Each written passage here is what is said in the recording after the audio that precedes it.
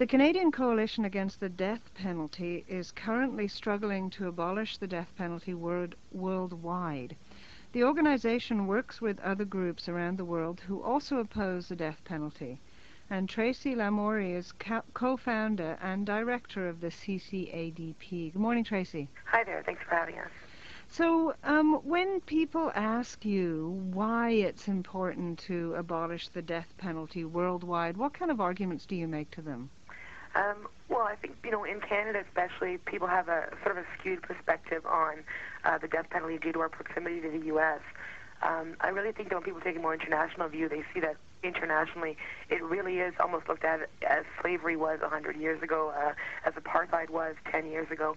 Once you look into um, who's being put on death row, uh, you find it's um, it, it's mostly people of color, and when it's not people of color, it's mostly an economic issue.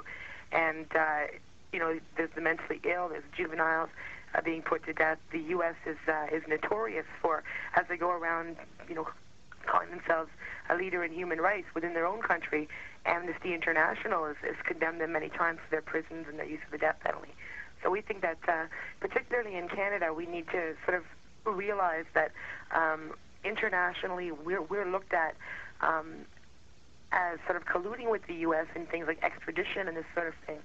Uh, just last week, or, or last month, I should say, we met with um, a representative from the Italian Senate, some parliamentarians, and the ambassador from Italy in Ottawa, who who came here to discuss with us um, can, the Canadian government not standing up uh, as Europeans expect them to when it comes to things like extraditing citizens to, to the U.S. to face capital punishment. What kind of effect, if we look at at, at uh, the death penalty in general, what kind of effect does it have on a society when it has the death penalty, as opposed to those societies that don't? Well, statistics have shown, you know, contrary to popular belief, that um, murders and violent crimes actually go up in times of execution, and, and those states that uh, with the most executions, um, for example, in the U.S., are usually also the ones that um, have the right to bear arms uh, outside and that sort of thing, and they're just real gun cultures. And then when something does happen, their solution is to just get rid of the problem and execute the person. And uh, uh, I think it, it creates less of a respect for life. And uh, we're in personal correspondence, you know, with a lot of death row prisoners across the U.S. And um, you know, they, we all, they, they all talk about this issue of the death penalty and and what does it teach people. And and it te- it basically they're in agreement that it teaches people that you know, it, it wasn't wrong to do what that they did. That in certain circumstances, you know, when you don't like someone or or don't agree with someone or if somebody's a problem, that it's right to kill. And that's not the message we want to be sending out. So the idea that it's a deterrent then just doesn't hold water. The the, the argument. When you look into it, that's you know, it, it, the facts just do, do not mm-hmm. show, bear that out at all. So, what do you consider to be a, a workable alternative to the death penalty? Um, the problem is in a lot of the states that you know, for example, Texas, which in 1997 um, killed, I believe it was 36 out of the 70, 72 that were executed across the U.S., fully half. They do not have a sentencing option as, as life without parole. It doesn't exist. If you give someone life in Texas, I mean, after 20 years, they'll be out and that, that's not even an option. And this is why I think juries are so um, easily convinced to sentence people to death. I mean, they've got over 400 people on death row in Texas alone, and um, it's it's a fear tactic. And and in Texas, you know, for example, people's political careers depend on getting the death penalty because it's so popular. Because people see people getting out when they get life sentence up to 20 years. So it's a vicious circle. And I think they really need to look at you know prisons. They call them rehabilitative centers and correctional facilities, and that's just not the case. They need to look into to making that be so. Now, actually, you've just issued an, your organization has recently issued an international tourist boycott of of Texas. Mm-hmm. So, what are you hoping to achieve with that? Um, we're basically we're we're basically hoping to send a message to uh, Texas and the U.S. as a whole that the international community uh, doesn't accept this this sort of um, this sort of large-scale human rights abuse. And I've been asked the question. Uh, we were on Court TV last week out of New York City, and we were asked the question, well, why not a boycott across the U.S.? And honestly, a lot of people would like to see that, and the international community has been sort of talking boycott for a long time. At least things like human rights groups uh, or you know people who are involved with human rights issues.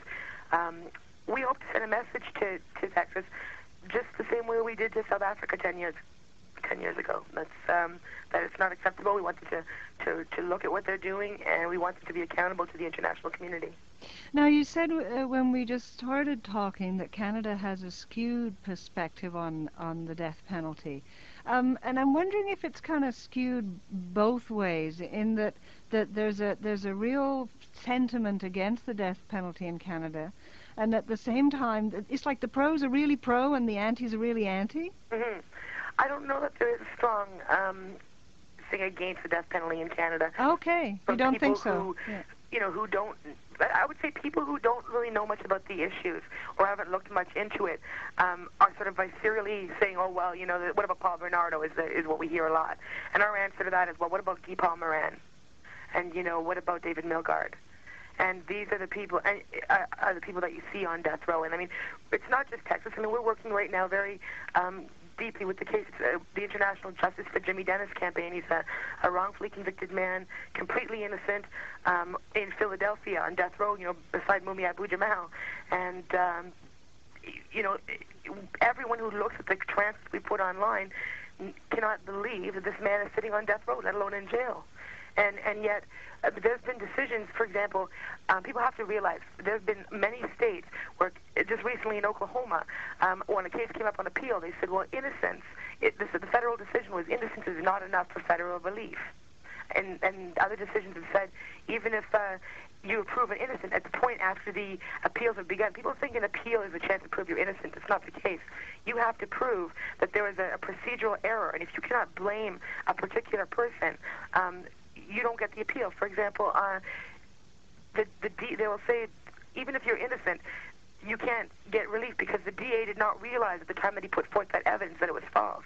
So therefore, the Constitution allows you to be executed, and that's, that's the sort of uh, thing we're dealing with. That's, and that's, not that's a, complete. I mean, not a crime and punishment issue by any means. That's a basic human rights issue. You cannot, even if you agree with the death penalty, you cannot have this kind of application of it. That's completely wild. I'd never heard that uh, before. So that even if you're innocent, as if there's nobody else there to blame. There's at least three states and three different decisions where they've made that decision. Because once you've proven your, I mean, your trial is your chance. And you're talking about lawyer. You meet a lawyer for an hour before your trial, the day before your trial.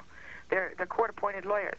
Could be a tax lawyer. I mean, that's no lie. It could be a tax lawyer. It could be someone who's never thought of trying a capital case. And that's your chance, your hour to tell him who to investigate, who to get as witnesses. If they don't want to do that, that's basically your chance. And then any appeal following that, if you can't prove a procedural error that can blame a person for something, then you're allowed to be executed, and that's happened many times. That's why we got into this because when we realized this sort of thing was going on, you know, our background is human rights, uh, anti-racist, anti-poverty, that sort of activism, and we really see this as an extension of that.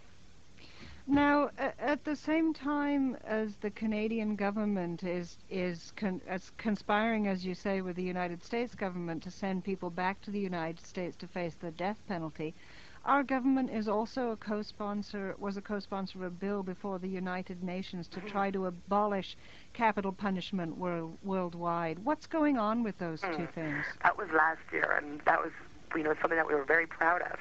Um, but just as of April 12th, we were invited by Hands Off Cain, which is an Italian uh, group in against the death penalty, as well as um, some human rights groups, to go speak, to go to the UN where they're having a press conference.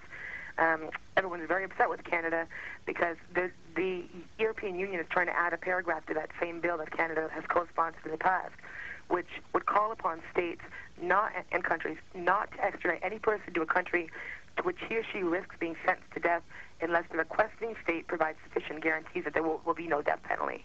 Canada already has a treaty with the U.S. that says that we have that right, but uh, quite often we decide not to um, to use that right, and we would just choose to, to send them back. Just like there's two young men from Vancouver right now, where their case is up to before the Supreme Court, whether they'll be sent to Seattle to face um, capital charges and possible death sentence if convicted. And uh, so, you know, this is part of the same thing because Canada does not want to now co-sponsor this bill. They're, um, they may not sign on to the whole bill as a result of not wanting to sponsor this paragraph. And they're right now actively lobbying in the UN against that paragraph. So the European Union, the human rights community, and Amnesty International uh, is very upset. They're basically um, trying to send a message to our Canadian government that they're they're colluding with the U.S. and, and they're quite disappointed in us. And um, their answer to the Italian Parliament when the, the representatives came here to speak with them was that Canadians would support sending them back, and Canadians um, would probably, you know, are afraid of a safe haven against criminals and that sort of thing. And uh, we would like to ask Canadians to please contact, you know, the Justice Minister and the Prime Minister's office um, and tell them they don't support. Last month, the, the trial or the the appeal started whether Sebastian Burns and Atif Rafay of Vancouver will be sent back. Um, the Supreme Court is waiting now to decide on that. They've delayed it for another couple of months. Um, I think it's because of what's going on right now in the in the UN. So we'd really like to ask for support, you know, for that too, especially from people in BC.